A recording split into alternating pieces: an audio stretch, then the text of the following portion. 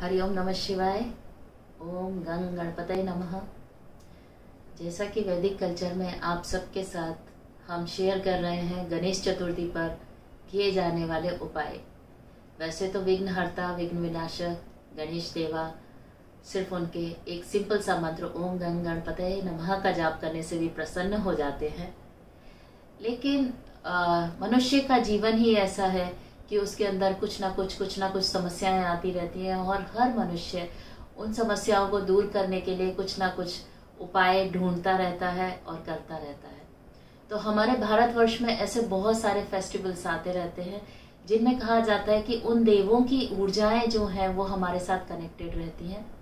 और जो फ्रीक्वेंसी है इस समय उन मंत्रों की, जो भी हम मंत्र चैंट करते हैं, उनकी वाइब्रेशन और फ्रीक्वेंसी और जो उपाय करते हैं, जो अर्पण करते हैं, वो बहुत ही शीघ्र प्रार्थना वहाँ तक पहुँचती है। वो भी एक वाइब्रेशन ही है और उस हायर वाइब्रेशन पे पहुँच के हमारे जीवन में आ रही जो भी समस्याएँ हैं, वो दूर होती हैं। मेन होता है इंटेंशन की किस तरह के इंटेंशन के साथ हम इन मंत्रों को या इन पूजाओं को या इन उपायों को कर रहे हैं। तो जैसा कि अलग अलग मैंने आपको उपाय बताए थे, कुछ उपाय ऐसे थे तो जो आपने फ़र्स्ट डे किए थे और कंटिन्यू आप उसको जो है पूरे दस दिन के लिए करें गणेश उत्सव पर। लेकिन कुछ उपाय ऐसे भी होते हैं जीवन में जो हम विशेष दिन, विशेष अवसर पे करते हैं। तो आज जैसे कि मंगलवार है, मंगलवार के दिन अगर हम गणेश चतुर्थी पर ऐसा उपाय करें जिससे हमारे मंगल दोष शांत तो वो उपाय भी बहुत ही प्रभावशाली होता है।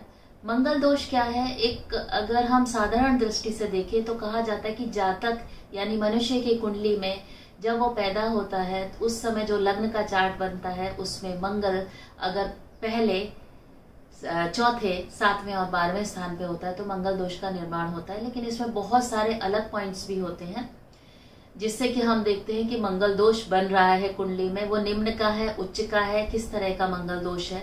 और कभी कभी मंगल दोष दिखता है, लेकिन हमारे ही कुंडली के कुछ ग्रहों के आपस के कनेक्शन के कारण वो दोष दूर भी हो जाता है। कहते हैं कि जो मांगलिक होता है, उसके लिए बहुत सारी चीज़ें मानी जाती कि ये मांगलिक है मांगलिक है, लेकिन उससे डरने की ज़रूरत नहीं है। हर चीज़ के कुछ गुड और कुछ बैड चीज़ें हमारे जीवन में होती है। तो मांगलिक दोष जिनके जीवन में निर्माण होता है ज़रूरी नहीं है कि उनकी गलत चीज़ें ही हो। तो मैं पहले उसके बेनिफिट्स आपसे शेयर करती हूँ कि मंगल दोष जिसकी कुंडली में है, या मंगल जिसका स्ट्रांग होता है, वो व्यक्ति अपने जीवन में बहुत ही ज़्यादा महत्वाकांक्षी होता है। बहुत एनर्जेटिक होता है, क्योंकि मंगल जो है एनर्जी का कहें तो प्लेनेट है। एंथुअजम बहुत ज़्यादा होता है उसके अंदर, और एक अलग ही तरह की पर्सनैलिटी होती है जिसका मंगल स्ट्रांग होता है। अब इसके जो नुकसान है, वो कहें तो कहते हैं कि मांगलिक दोष। दोष शब्द जहाँ आता है, तब इसका विशेष प्रभाव पड़ता है शादीशुदा जीवन पर, यानी मैरिड लाइफ पर।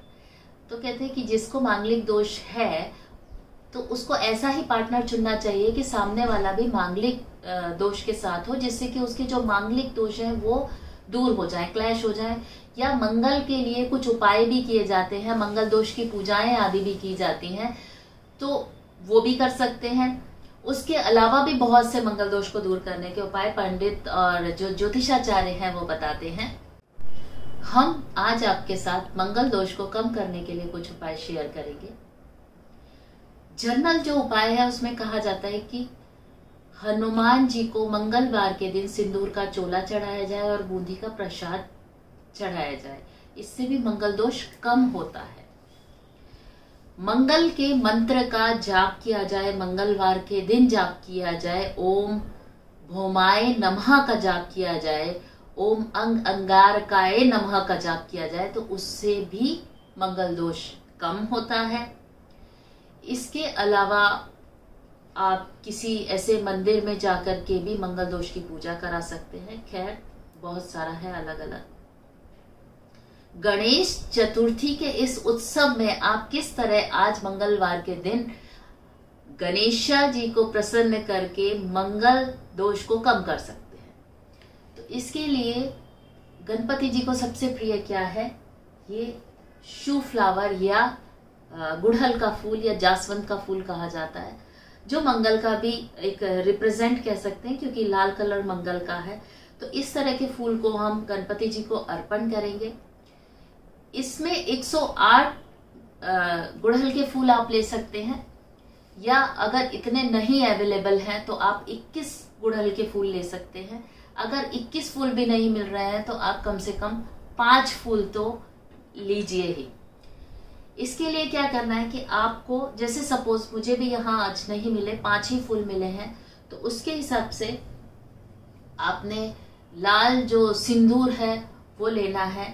उसके अंदर आपको गुलाब जल डालना है। जो फ्रेग्रेंस होती है रोज की, वो डालना है। गुलाब जल से इसको मिक्स कर लेना है सिंदूर को। और लाल गुड़हल का जो फूल है, उसके ऊपर इस तरह से हर पत्ते पे, पाँच पत्ते हैं, हर पत्ते पे तिलक करेंगे। पहला तिलक करेंगे और इसमें हम मंत्र का जाप करेंगे। ओम भोमाय नमः। फिर दूसरा लेंगे, ओम भोमाय नमः। अगर आपको भोमाय नमा चेंट करने में डिफिकल्टी है तो ओम अंग अंगारकाय नमा भी मंत्र का जाप कर सकते हैं। दोनों ही मंत्र आपको डिस्प्ले में मैं दे रही हूँ।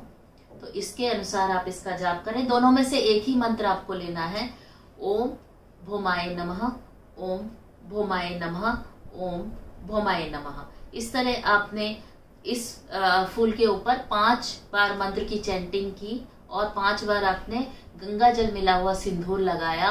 अब आपने इंटेंशन पहले ही बोल देना है, आपके जीवन में शादी शादी के लिए अगर रुकावट आ रही है तो मुझे मेरा सोलमेट मिले, मुझे मेरा लाइफ पार्टनर परफेक्ट मिल जाए। इस तरह की भावना के साथ आपने ये मंत्र का जाप करते हुए गणपति जी को कहना है कि ये जो भी मंगल दोष की विघ्न बाधाएँ ये दूर हो और इसको आपने गणपति जो जो है, उनके चरणों में यहाँ पर अर्पित कर देना है। तो ये पाँच मंत्र हुए। इस तरह से आप अलग अलग फूल लेंगे तो पाँच आप दूसरे फूल पे लेंगे। ओम भोमाय नमा। ओम भोमाय नमा। हर बार एक नया तिलक लगाते हुए फिर इसको आप दोनों हाथों से इस तरह अर्पित कर देंगे गणपति जी पे। ये आपका टेन टाइम्स हो गया। इसी तरह आप एक और फूल लेंगे, उस पे करेंगे तो आपका ये फिफ्टीन हुआ। और यहाँ पर आपका ये, हर एक पंखड़ी पे करते हुए ये हुआ ट्वेंटी टाइम्स ट्वेंटी के बाद आपने जो ये ये फूल लेना है, इसके ऊपर, पूरे फूल के ऊपर ही आपने ये इस तरह से एक बीच में लगाना है। ये जो बीच का पार्ट है, यहाँ पर ओम भोमाए नमा। और ये पूरा फूल आपको अर्पण कर देना है गणपति जी के चरणों में और अपनी जो इच्छा है वो उनको फिर से बोलनी है। ये 21 बार हो गया हमारा अगर आप 21 फ्लावर्स लेते हैं तो हर फ्लावर के बीच में लगाएँगे और 21 टाइम्स चेंट करके हर एक मंत्र के साथ ओम भोमाए नमः, फिर दूसरा लेंगे ओम भोमाए नमः, ओम भोमाए नमः, इस तरह से अर्पित करते चले जाएँगे। 108 भी आपने इसी तरह से करना है, अगर आपको 108 बार मिल 108 फूल मिलते हैं तो उसमें भी 108 टाइम्स जो एक कंप्लीशन का नंबर माना जाता है, उस तरह से इसको अर्पण करेंगे। तो इससे कहा जाता है कि मंगल दोष के काफ़ी उपाय जो है हम सॉरी मंगल दोष का जो है असर बहुत हद तक हमारा कम हो जाता है। ये उपाय आप इस गणेश चतुर्थी में तो करें ही करें मंगलवार के दिन। आप आने वाले जो मंगलवार हैं, उसमें भी ये उपाय कंटिन्यू रख सकते हैं टिल आपके जो आपको लगता है कि आपके रास्ते खुल रहे हैं शादी की जो है ऑफर्स आ रहे हैं। अगर आप बहुत लंबा नहीं कर सकते तो 11 मंगलवार तो ज़रूर करें। तो ये एक साधारण सा उपाय जो मैंने बताया। और दूसरा मैंने एक मंत्र आपके साथ शेयर किया था, गणेश गायत्री मंत्र।